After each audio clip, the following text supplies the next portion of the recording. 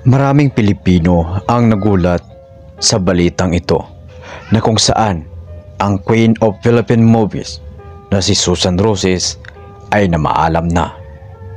Siya rin ay gumanap bilang Lula Ricardo sa AVG's Ang Probinsyano.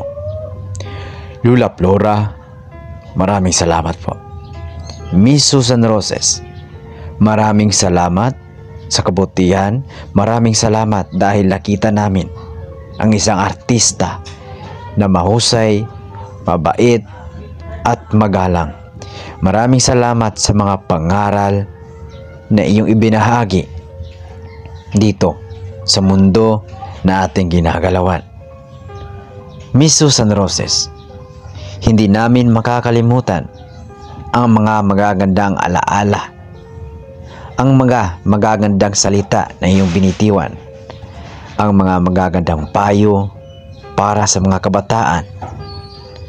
Maraming maraming salamat po, Nula Flora, sa FHG sa Provinciano, Susan Roses sa totoong buhay. Maraming maraming salamat po dahil nakilala namin ang isang Susan Roses na magaling, may paninindigan, the Queen of Philippine Movies, walang iba, Miss Susan Roses. Marami man ang nalungkot sa pagkawala mo pero yung mga naiwan mong alaala ay hindi mawawala kailanman. Maraming maraming salamat sa kabutihan mo, Susan Roses. Maraming maraming salamat dahil nakilala namin ang isang katulad mo, ang isang ikaw, ang isang ikaw na nagpapasaya sa amin. Maraming maraming salamat po.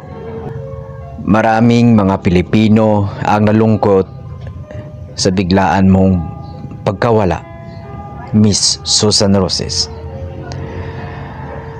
Salamat dahil may nakilala kaming Susan Roses sa mundo na ating ginagalawan ngayon. Kami po ay nagpapasalamat sa mga saya na iyong ibinahagi sa amin.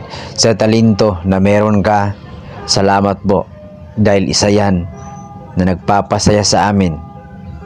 Sa mga alaala, sa mga magagandang payo para sa aming lahat. Maraming maraming salamat po sa kabutihan ng iyong puso, Miss Susan Roses.